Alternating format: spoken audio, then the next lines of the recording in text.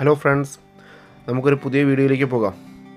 ഉളുക്കഴപ്പ് ഇങ്ങനൊരു വാക്ക് കേട്ടിട്ടുണ്ടോ? നമ്മളെ പുതിയ തലമുറയിലുള്ള ആൾക്കാരൊന്നും കേട്ട് കാണാൻ സാധ്യത കുറവാണ് കേട്ടോ. പഴയ തലമു- തലമുറയിലൊക്കെ ഉള്ള ആൾക്കാരുടെ അടുത്ത് ചോദിച്ചു കഴിഞ്ഞാൽ പറഞ്ഞു തരും എന്താണ് ഉളുക്കഴപ്പ് എന്നുള്ളത്. ചാനൽ സബ്സ്ക്രൈബ് ചെയ്തിട്ടില്ലാത്തവർ ചാനൽ സബ്സ്ക്രൈബ് ചെയ്യണം. അതുപോലെ തന്നെ വീഡിയോ മാക്സിമം എല്ലാവർക്കും ഷെയർ ചെയ്ത് കൊടുക്കണം. എന്റെ ഒരു കൂട്ടുകാരന്റെ അനിയന് പെട്ടെന്ന് നടുവിലൊരു ചെറിയൊരു വെട്ടിപ്പിടുത്തം പോലെ ഉണ്ടായി.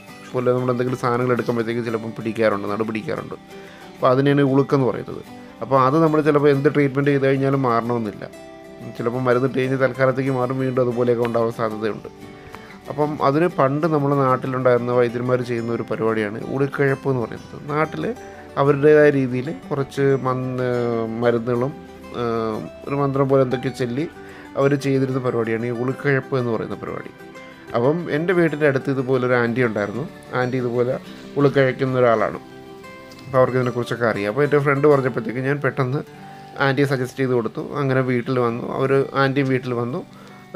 ഇത് ചെയ്തു തരാമെന്ന് പറഞ്ഞു. മൂന്ന് ദിവസമാണ് ഇത് ചെയ്യേണ്ടത്. സാധാരണ ഉളുക്കഴപ്പ് മൂന്ന് ദിവസമാണ്. പൊതുവേ ഇപ്പോഴും അങ്ങനെ ആരും ചെയ്തു വരാറില്ല. വളരെ കുറവാണ്. ഇതിന്റെ കാര്യങ്ങളൊക്കെ അറിയാവുന്ന ആൾക്കാരൊക്കെ വളരെ കുറവാണ്. ചെയ്തു കഴിഞ്ഞാൽ വ്യത്യാസം വരും. ആദ്യ ദിവസം തൊട്ട് തന്നെ വ്യത്യാസം വന്നു തുടങ്ങും. മൂന്ന് ദിവസം അടുപ്പിച്ച് അല്ലെന്നുണ്ടെങ്കിൽ രണ്ട് ദിവസം ഒന്നര തൊട്ട് മൂന്ന് ദിവസമാണ് ഇത് ചെയ്യേണ്ടത് മൊത്തത്തിൽ അപ്പം അത് ചെയ്ത് കഴിയുമ്പോഴത്തേക്കും പൂർണമായിട്ടും നടുവിന്റെ വെട്ടലെല്ലാം മാറും വേദനയെല്ലാം മാറും. ഇത് ചെയ്യുന്ന രീതി എന്ന് പറഞ്ഞു കഴിഞ്ഞാൽ ചിലർ വാഴയുടെ തണ്ടായിരിക്കും തടയായിരിക്കും എടുത്തിട്ട് വാഴത്തട എടുത്തിട്ടായിരിക്കും ഇതുപോലെ രണ്ടായിട്ട് കീറി രണ്ട് നമ്മളെ താഴെ താഴെയായിട്ട് രണ്ട് സൈഡിലായിട്ട് വെക്കും.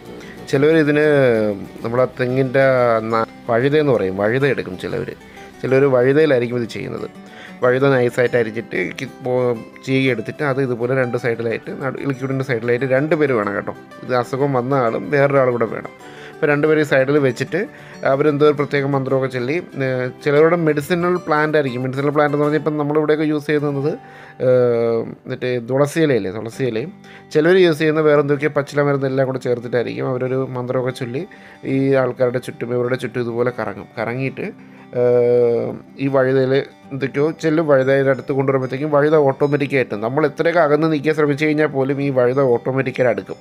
രണ്ട് സൈഡും ചേർന്ന് ഒട്ടും. ഇത് ഒട്ടി വരും അവസാനം. നിങ്ങൾക്ക് കണ്ടു കഴിഞ്ഞാൽ അറിയാൻ പറ്റുന്നുണ്ട് ഇതുപോലെ നല്ലതുപോലെ ഒട്ടി രണ്ട് സൈഡിലായിട്ട് വരുമ്പോഴത്തേക്കും അങ്ങനെ ഒട്ടണം. ആദ്യ തൊട്ട് ആദ്യ ദിവസം തൊട്ടേ അത് ആദ്യ ദിവസം ചിലപ്പോൾ ഒട്ടിയെന്ന് വരത്തില്ല. അങ്ങനെ മൂന്നാമത്തെ ദിവസം ഒരിക്കലും പൂർണമായിട്ട് ഒട്ടി വരുന്നത്. അസുഖം മാറുന്നതിന്റെ കണക്കായിട്ടാണ് ഈ വഴുത ഒട്ടുന്നത്. അതാണ് അവരുടെ വിശ്വാസം. അപ്പം അത് ഒട്ടി വരുമ്പോഴത്തേക്കും അസുഖം മാറും. അപ്പോൾ അവരത് ഒടിച്ച് അതങ്ങ് കളയും. വേറെ മന്ത്രമൊക്കെ എന്തൊക്കെ ചൊല്ലി അതങ്ങ് കളയും. അത് ആർക്ക് വേണമെങ്കിലും ഈ ചികിത്സ ആർക്ക് വേണമെങ്കിലും ചെയ്യാം. കേട്ടോ മീൻസ് നടുവേദനയുള്ള ആർക്ക് വേണമെങ്കിലും ചെയ്യാം. അതുപോലെ തന്നെ ഞാൻ അവരുടെ അടുത്ത് ചോദിച്ചു. അപ്പം അവർ പറയുന്നതെന്ന് പറഞ്ഞു കഴിഞ്ഞാൽ ആർക്ക് വേണമെങ്കിലും ഇത് പഠിക്കാം. ഇതിനെക്കുറിച്ചൊരു വിശ്വാസം ഉണ്ടായിരിക്കണമെന്നേ ഉള്ളൂ. പൊതുവെ നമ്മുടെ നാട്ടിൽ ഇപ്പോൾ പുതിയ തലമുറക്കാർക്കൊന്നും ഇതിനെക്കുറിച്ച് വലിയ വിശ്വാസം വലിയ അറിവൊന്നും ഉണ്ടാവത്തില്ല.